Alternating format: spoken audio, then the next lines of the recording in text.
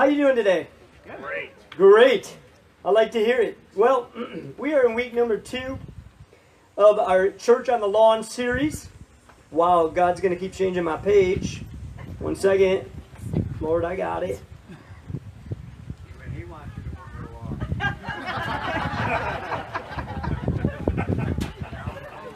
Was that move it along or move to the lawn? What'd you say?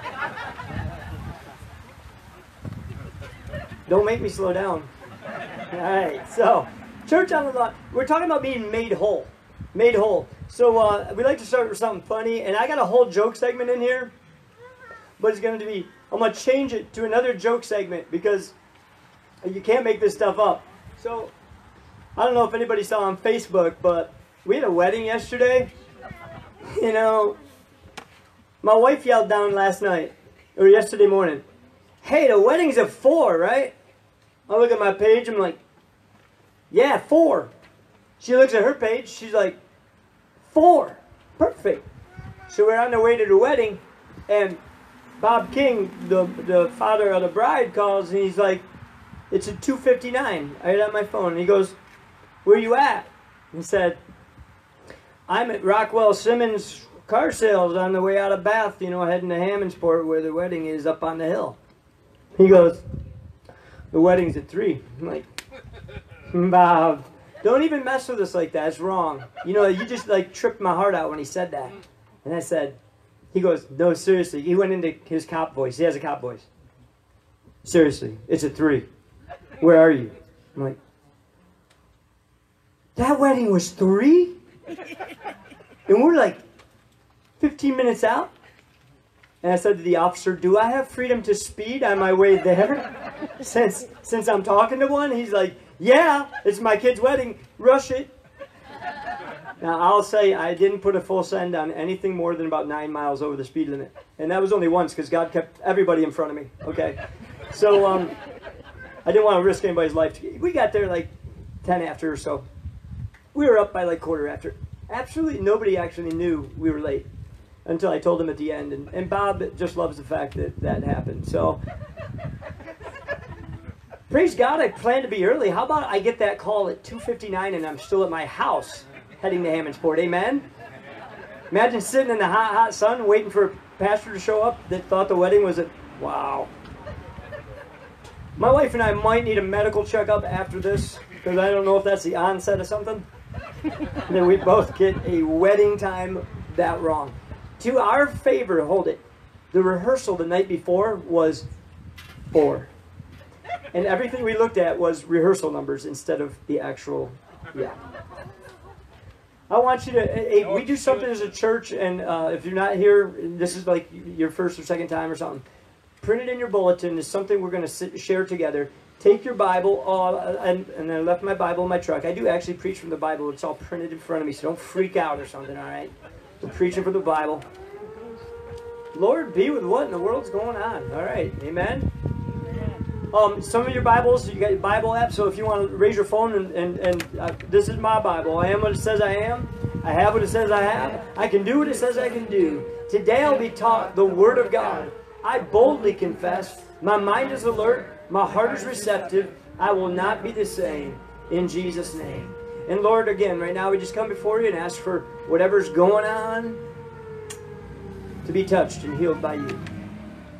And Lord, be with this service today. I pray that we would learn something brand new that we can apply to our lives, and in fact, brand new that I can apply to somebody else's life from today. We pray in your name. Amen. We get real good at wanting to apply stuff to other people's lives. I'm going to actually give you an excuse to do that today. Might not be what you're thinking. Here we go. Jesus met people on the lawn of their lives, right? Now, Jesus was walking in the Middle East, so he's probably meeting people in the desert of their lives, which is actually more appropriate maybe to talk about, right? So last week we talked about who? We talked about who? Zacchaeus. Little dude named Zacchaeus. Um, Zacchaeus was a wee little man, and a wee little man was he. He climbed up what? In a sycamore tree to see what. Now, he wasn't seeing what he could see. He climbed up that tree to see who? Jesus. Jesus. And he was rewarded by climbing up that tree by not only seeing Jesus, but Jesus saw him and said, Hey, bro, I know everybody looks at you as a, as a traitor, as a sinner, as a, as a dirtball, but I say, I'm coming to your house today if you don't mind. I got some goods for you that your life will never be the same. Isn't that awesome? Because that puts all of us in the running, right? For Jesus to stop by because we've all sinned and fallen short of the glory of God, right? So, Zacchaeus, who can spell Zacchaeus this morning successfully? There's no money in it now because you've had a week to practice. Go. I can't go on until you get it right. Who's, who's going to do it? Where's Dad? Dan's got it? But they only just pointed at Dan like, dude, what do you mean calling me out? Who's got it, man? It's, oh, you nailed it. Dan, give him an applause. Z-A-C-C-H-A-E-U-S. The rest of you, yeah, here's the deal. What if you get to heaven and God says, listen, you can get in, Password. but you have to spell a word. It's Zacchaeus. It's only Dan and I are going to be there. We'll be dueling in uh, horseshoes over there. All right, excellent. Wow. So yeah, get that down just in case that's that's probably not what's going to happen, but it makes for a good joke. All right, today is wholeness comes by way of a breakthrough. All right, wholeness will come in your life by way of a breakthrough, and I'm going to explain it this way. What is a breakthrough? A breakthrough, I think, is when I finally get it. Right? I just had a I had a breakthrough. I had a V8. Remember that commercial? You got to be over to like 50. Okay, never mind. Um, for those of us who are younger, uh, a breakthrough is when I understand that 7 times 7 equals 49. Good. Do you know what I still get hung up on? But I'm learning it from this, from practicing this. 7 plus 6. I always have to go 7, 8, 9, 10, 11, 12. It's 13. All right. I don't, I have a problem with 7 plus 6 and 8 plus 7. Oh, that's 15, right? All right. But multiples of 9. Did anybody have a problem with multiples of 9? 9 times 3 is. How did you learn it? Did It was my breakthrough? What's the numbers? Good job. So, take the 2 out, and the 2 times 9 is 18. 3 times 9 is 27. This awesome. Uh, 4 times 9 is 36. Oh, I, I feel like I must go on to get the fullness of this, but you got it, right? It's a breakthrough where you're like, I, my, my friend didn't have to like cheat for me. I actually understood the math. How about another breakthrough moment when um, my wife and I go out on our first date, and on the way home, talking about when to get married. That's a breakthrough. That is a breakthrough. We had to pull off the road so we could cry together. Now, mind you, the breakthrough seems even bigger because the day before we met together and we said, eh, we're not ready to date yet. Literally the day before, we were like, we're not gonna, we're not gonna date yet because there was social pressure that we were both finally free, and like the, the church was trying to put us together, and my mom was trying to put us together. My mom had a lot of money riding on this or something. I think she still must. And uh, and the breakthrough was like, yeah, I can't believe we're talking marriage on the way home. That was so weird, but so right. Let me just take this to a new level. We knew each other for like, I don't know how many years seven, eight, ten, twelve, something. A lifetime. She's way older than I was, so that was that's what made it weird. She she gets AARP magazine already, and mine hasn't come yet. But she's so proud of it. Next year, mine's coming. 50's coming. But I get that price break at McDonald's, and I, I like that. Thank you. So a breakthrough moment. You know, it's a revelation when you have a breakthrough. When it clicked, it stuck, it made sense. It's not a breakup, it's not a breakdown, it's a breakthrough. Now, the story we're going to talk about um, is coming up, and it's in uh, Luke chapter 5, verse 17. And it's, it's written in your um, bulletin, okay? So it's there for you. Luke chapter 5, verse 17. So as you're looking that up, maybe you're thinking this morning, hey, PR, I cannot plan my breakthrough. And I would say you're, you're probably correct in that. I couldn't plan per se when that breakthrough in our relationship is going to come. I couldn't plan when that teacher was going to share with me that two times and three times. I, some people look at that and you probably don't even get what I'm talking about. You haven't had that breakthrough yet. All right, you know, work with somebody they'll, they'll help you over that hurdle. But maybe you're thinking, I haven't had the breakthrough with God yet that you're talking about. And I want to say this at least find your, and I'll say two things. You have positioned yourself by being a church. Good job. So you're already positioning yourself for a breakthrough. You didn't even know it. So clap for yourself today. Yay! I'm breaking through. Facebook Live, you're tuning in. You're breaking through. God bless you. May it come in Jesus' time that you understand His fullness and wholeness in your life. There's a point in time when I did not position myself for a breakthrough, and that's when I passed all the gas stations on the way south with the Buick, right? You remember that story? And I broke down. Why? Because because the Buick was terrible? No. The Buick was fine. It just needed something called fuel. And I refused to give it fuel because I thought I had more time. I'm going to encourage you this morning. Don't fool yourself that you got more time. You don't know what time you got. Why don't you fuel the thing up right now? Amen? Fill the tank. There's more than enough grace, as my wife just sang about, to fill that up and get you past your breakdown. So I'm sure you found Luke 5:17. It's in your bulletin by now. Here we go. Verse 17. One day Jesus was teaching, and the Pharisees and teachers of the law were sitting there. Pause, time out. Who was sitting there? Teachers and Pharisees. Here's who, they were. They were um, the better than you people. They had their nose in the air. They knew all the answers, and you're dumb. And they're trying to trick Jesus. Everybody chuckle now. you're trying to trick who? God. That makes you dumb. All right, so they didn't know, but they're trying to literally drive nails. And eventually they will, but it's for their own reasons they came up with. So that's who the teachers and Pharisees, they're sitting there. They're sitting there in your life. You got somebody who's like the perfect Christian. And they look down on you and wonder if you're ever going to make it. Can I tell you? Get your eyes off that person and get your eyes on Jesus. Amen? Tell your neighbor, get your eyes on Jesus. Get your eyes on Jesus. And things are going to work out fine. Stop worrying about people judging you. So people came from villages around Galilee, Judea, Jerusalem, and all the power of the Holy Spirit was there on Jesus to heal the sick. And here we go this morning. Some men, verse 8, came carrying a who?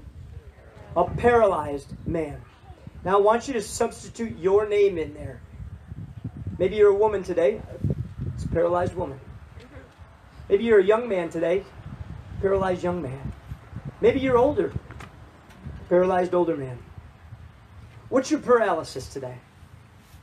You can be paralyzed by what? Throw out some things. Fear. Fear is very paralyzing.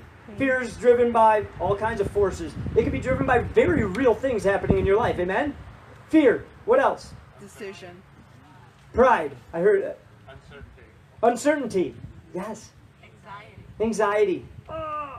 That's why the Bible talks so many times about being anxious for nothing and not fearing, and one for each day. There's 360 some of them, right? Um, how about um, addictions? We can be paralyzed by addiction. Amen? We can be paralyzed by bad habits. We can be paralyzed by self discipline, lack thereof. Anybody? Yeah, yeah. Uh, had too many ice creams this week. You know, self discipline. Self discipline comes in many varieties and forms. It can be brokenness, it can be something somebody did to you. And you're paralyzed and you don't know how you got here and why you're here. Paralyzed, how about this one? I like this one at a wedding yesterday and you look around and there's so much insecurity. We can be absolutely um, stopped in our tracks by insecurity. Got it. I'm paralyzed because my pages keep turning. Some men came carrying a paralyzed you. And fill that description, what you're paralyzed with. Be honest with God what it is this morning. Some men came carrying me on a mat and tried to send him into the house and lay him before Jesus. But when they could not find a way to do this because of the who? The crowd. The crowd's a problem again. Remember last week, Zacchaeus tried to see Jesus, but he couldn't because he's the height of one of my nieces. And I didn't say which one. But he couldn't. She might be here. But he couldn't. And the crowd gets in the way. And the crowd right now gets in the way, and they, they went up on the roof. I love this story. So his buddies took him on the roof, lowered him on a mat, through the tiles in the roof. Man, they needed Caleb to back clean up after this, right? Caleb and Ernie, we gotta, we gotta mess up in aisle one, get on the roof and do a fix, and drop him right there in front of Jesus. So I want to ask us this morning, what did the crowd represent? The crowd represents like every obstacle in your life, right? I'm going to throw out a few. Your fears, your doubts, your addictions, your habits, we just talked about. Amen. But how about every excuse? You have a crowded head of excuses as to why you can't be healed. Amen? We come up with them. We're, we get creative with our excuses. We get good at avoiding God. And then we then we're like, why did I do that? Amen? Have you ever avoided God? Yes, we could do the wave. Did you ever get to the other side of that and go, why did I avoid God? He was going to help me get to a powerful position in joy. Amen? Why did I avoid him? So I want to ask you on the front side of your life this week what obstacle, what excuse have we made for not being able to get to Jesus? Maybe, uh, maybe it's in your job performance. Everybody else is slacking off, so I can. Amen? It's easy to do that, right? I mean, my wife and I are like co-lead pastors. Like when I see her slacking off, I want to slack off too. It must be nice for you to just be, you know, hanging out at your keyboard up there all day. And I don't know what you're playing on up there. You playing a video game mother? No, she's actually working. So she doesn't give me much reason to slack off. But, you know, maybe you got somebody at work. It's like you can become the lowest common denominator instead of being Joseph. Remember Joseph sold into slavery? He didn't settle for least. He became he had his breakthrough when he realized honor God in every situation. And then God raises him up beyond what he could think or imagine. Um, maybe the crowd in your um, life is actually all the negative thoughts in your head. Amen? Lord, help us to sort out the negative thoughts and kick them out in Jesus' name. And let God fill us with the thoughts he has about me. He doesn't have negative thoughts about you at all. He loves you to death. He enjoys you. He has given everything to be with you.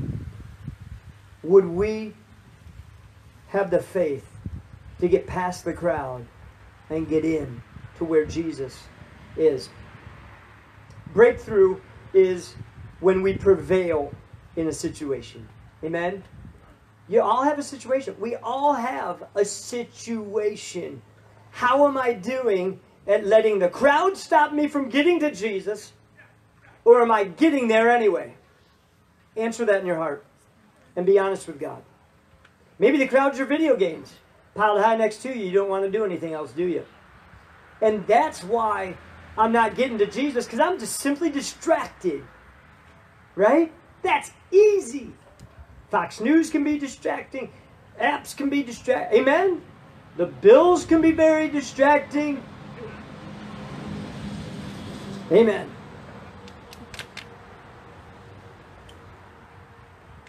Isn't it time to, uh, Zacchaeus stepped up last week. This time, breakthrough. Verse 20, carrying on. Lord, give us a breakthrough. Give us a breakthrough. Give us a breakthrough. Verse 20, when Jesus saw their faith, he said, Friend, your sins are forgiven. When he saw their faith, you know what? I just kind of got to recognize when Jesus first sees this paralyzed dude, you know, if you and I saw somebody paralyzed, what are we going to think of first? We're going to want to meet the physical need, right? He's broken. I got to help if I can help, right? But Jesus doesn't do that. He goes straight to your sins are forgiven because Jesus knows the most important thing I can do for you is heal your heart and give you eternal life forever and ever and ever. Amen. He knew that wholeness wasn't a short flash in the pan on this earth, it was eternal. So I want you to, if you're taking notes, write down the fact that Jesus did this first, your sins are forgiven. So there's three things I want us to learn from this this morning. I might only give you two of them. We'll see how good you are. Here we go. Oh, you're like three things. It's all on one page. Don't freak out. All right? Tell your neighbor, don't freak out. Go. Thank you. Only one of you said that. The rest of them are freaking out. That's not good. All right. All right. Number one, you can find your breakthrough. Tell your neighbor, you can find your breakthrough. Go. You can find your breakthrough. Zacchaeus climbed. It's time for us to find our breakthrough in healing, a rescue from sin, a, a, a blessing. Find that anointing that only God can do in a breakthrough. This guy ends up being miraculously healed. We're going to find in a few minutes. But just like you and I need healed of some addiction, you and I need freed from some anxiety, some fear that has paralyzed us in a sector of our life. Just like you and I can get up and walk away from that bad choice. I love the fact that's in that song that my wife just saying, You have freedom from even that horrible choice you made a month ago, yesterday, two weeks ago. Am I hitting any for you? Amen? Anybody make a bad choice? Oh, I'm not looking around. I just know I've made some bad choices. Thank you, Jesus. There is a new start. You can find your breakthrough in Christ who forgives your sins. Number two, that I want you to go home with today is that you can help somebody else find their breakthrough. Write that down if you need to. You can help others find their breakthrough. When Jesus saw what? Whose faith? It was cumulative, it was their faith when he saw their faith in togetherness, working as one. Friend, your sins are forgiven, was the answer. When he saw their faith. Did you know you have the power to change a life?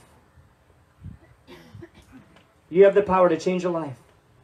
The power of life and death are in your words. How about faith without deeds is dead? So go make a difference. We can help somebody with their faith, with their healing. If you know the truth of Jesus Christ, you know the greatest power of healing in the entire known universe. Why are we not sharing Him? Amen? You're the only Jesus some will ever see. You're the only words of life some might ever read. So may they see in me the one in whom is all they'll ever need. Because you're the only Jesus. You're the only Bible somebody's going to ever see in your workplace. Maybe it's from your kids. Maybe it's for your parents. Maybe it's for a brother and sister. So don't be deterred by the crowd, the roadblocks. Let's get creative in how we get into somebody's sphere, right? So I wear a Bills jersey, not just because I like the Bills. I like them. That's cool. But it ain't eternal. It's just a game. Who cares? Honestly, at the end of the day. What is it? It's a tool. It's a tool to get into somebody else's life. Now, if I'm in New England and wear this, that's a problem. That's a tool of destruction. I'll probably get hurt. But you get what? You will accept me. Yeah, because we lose to you every game. I appreciate that acceptance. It's nice. But do yeah, if somebody wears a Patriots jersey here, that's probably not going to lead somebody to Jesus, right? wow. Anyway, um, ex- find ways that we can build relationship. Amen. And earn the opportunity to get to share the greatest breakthrough for somebody else. You're the one you're carrying the mat for somebody. Amen. If you know Christ, Think about who you're carrying the mat for. Who are you getting to the top of the building? And, hey, maybe they're a simple person you would like to drop a little harshly through onto Jesus. Hey, here comes Jimmy. he needs some help. He needs some serious help. You know what I mean? We, so if that can help you register a few people in your hearts that they're probably in your life for you to show them love. Amen. Love. Say it with me. Love. Acceptance. And you're thinking, boy, that person I, I wanted to just drop through the roof is not somebody I sometimes want to show acceptance. But aren't they the ones that need it the most? I mean, Zacchaeus. Why would Jesus show, show Zacchaeus acceptance? He's busy ripping people off. Because Jesus saw past the facade, past his hurt, past the pain, and saw his personal need, and he met it. Now see past who you were thinking about. And their affrontiveness, their repelling, get past it and see the heart. And then decide, hey, God, is that who you want me to go drop through the roof? And in faith, watch somebody get healed for a lifetime. Amen? Amen. Come on, help us, Jesus, to get somebody in mind and be a vehicle, be a transforming place to get Jesus into their life or them into Jesus' life. How about, hey, you know somebody doesn't come to church and they don't have a car, and you do. So what do you do? How about you go and, hey, how about breakfast a little early? Do your, your timing better than I do timing for weddings and stuff like that. Do the, the invite somebody, amen? Is that mercy flight? Yep. Lord, we ask you to bring healing, safety, and health. Wow. How can we be a vehicle to get somebody? And my one of my last questions here: How can you be inconvenienced for Christ, for somebody else's sake? We all like it convenient, right? I like Dollar General right next door. That's awesome. That's convenient. I like all kinds of conveniences like you do. But when we get comfortable, it's really not the place of power and joy. Amen? Find yourself inconvenienced to be a blessing to somebody else. And this third thing is real quick. I'm just going to lay it on you. It's the finishing of these verses. I think they're printed there for you. Tell me if they are. Verse 21. They are. We're just going to read those together so you have a basic understanding of why Jesus would say that, hey, your sins are forgiven first and get an understanding in context. Here we go. The Pharisees and the teachers of the law began to think of them to themselves, who is this fellow who speaks blasphemy? Who can forgive sins but God alone? Now Jesus knew what they were thinking. Oops. they didn't figure that into the equation. And Jesus says to them, Why are you thinking these things in your hearts? Which is easier to say, Your sins are forgiven, or get up and walk. But I want you to know that the Son of Man has authority on earth to forgive sins. So he said to the paralyzed man, I tell you, get up, take your mat, and go home. And immediately he stood in front of them and took what he had been lying on and went home praising God. And everyone was amazed and gave praise to God. They were filled with awe and they said, We have seen remarkable things, this forgiveness of sins. We have seen incredible things, this touching of a body. So, why did Jesus heal a body? It was so that he would show them, hey, I have authority to forgive their sins. Watch this. It wasn't because, hey, I'm just going to impress you, I can heal somebody. That healing was to give God glory and let everybody know the Son of Man has authority to forgive sin. So, as we close this morning, um, and we're going to send Deb off and pray for her team here in just a second as we wrap up in prayer and send her off to Jamaica. Um, what are you going to be doing there, Deb? You're going to be doing this, right? You're going to be taking people up past the crowd and dropping them in front of Jesus and saying, Here, Jesus, got a healing for you right here in Sector 1. Right? Other countries seem to be much more open than even we in America, I don't know why, but it happens. We become cold. We become a little sinister. So I'm asking you in this room, out in God's creation, I'm asking you in this place, God, what can we do to facilitate somebody else getting closer to God? You are an influence. Amen? You are you, the power in life and death lies with you. Are you shining the light? Amen. Are you inviting? Are you bringing somebody into this understand this relationship you already know? So I'm gonna have Deb come and we're gonna pray with her. I'm also gonna, you know, have us lay our own lives before Him fresh and new. And those who might come up and, and just lay hands on, on Deb, just come right now. Doesn't have to be all of us, but several of us it will. She's excited. Get this going. Amen. In Jesus' name. Let's pray. Lord, we just love you and, and, and we just come before you today. And uh, we're in your creation. We, we feel your oxygen, your, your wind wasping uh, across this place. And, and Lord, I pray that um, each one of us will understand that, hey, um, I'm paralyzed in some, some ways. And it's okay to admit to you, sometimes I'm paralyzed, I'm locked up with fear. Sometimes I'm locked up with insecurity. Sometimes I'm locked up in my own addiction. Sometimes I'm locked up in what others think of me, and the crowd's getting in my way. Lord, I pray that we press past the crowd. Maybe we got to have somebody um, that we ask in this room around us like we're doing right now, that says, hey, I'll help you get to Jesus.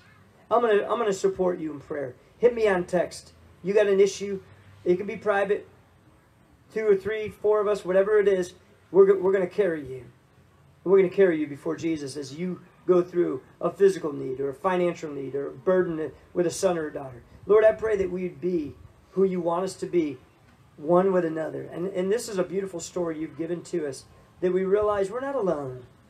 And sometimes I, I'm flat on my back, and, and the only way I get to you is because somebody else carried me. I have many brothers and sisters inside of this tent right now that when I was flat on my back, they carried me. And I thank you, Jesus, for my brothers and sisters in Christ who say, hey, we're not going to shoot him when he's down. We're going to carry him before Jesus. And Lord, I pray that we make a new commitment today that we're not going to shoot somebody when they're down right now. We're gonna we're gonna do everything we can to mercy flight them, get them before you, so the medic can work and take care of business and bring healing.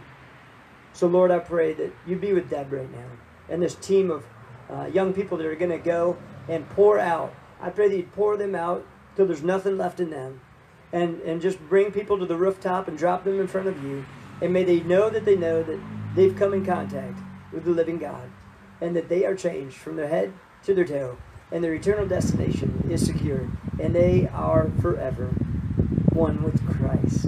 Lord, I pray that uh, just a revival sweeps across that place in Jamaica.